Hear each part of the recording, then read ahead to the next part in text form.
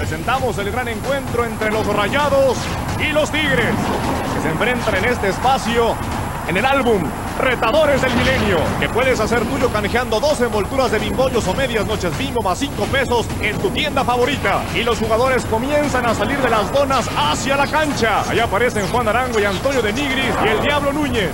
De un lado Rayados, del otro Tigres. Ya están alineados. Comienza el partido. Solo Bimbo lo hace posible.